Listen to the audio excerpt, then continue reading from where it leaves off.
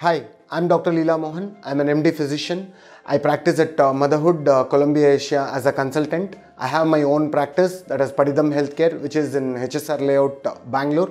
I mainly practice diabetes and other chronic elements. The immediate symptoms of the seasickness, mainly which you have to keep it in your mind, or uh, headache, and there are certain things which will come up, and then mainly how to prevent uh, these things. So breathe in like soothing mint, which is like eucalyptus oil, all certain things, and ginger oil or lavender scents, which will help you in relieving the symptoms. And drink plenty of water and direct air vents to blow towards you. That means like when you are inside the ship or partying or cruising.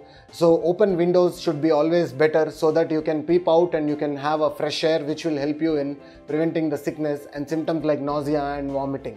And always lie back and recline and uh, if possible close your eyes for sometimes like 5 to 10 minutes. Take rest so that it will help you in preventing the seasickness. Have a good rest before your departure for the cruise uh, trips and look at horizon. What is this horizon which helps your eyes to correct the signal they are sending to the brain.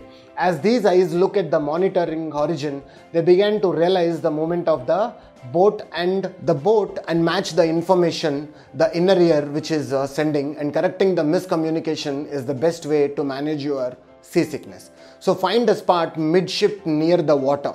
This is the location where a boat will be the center point and or minimize must.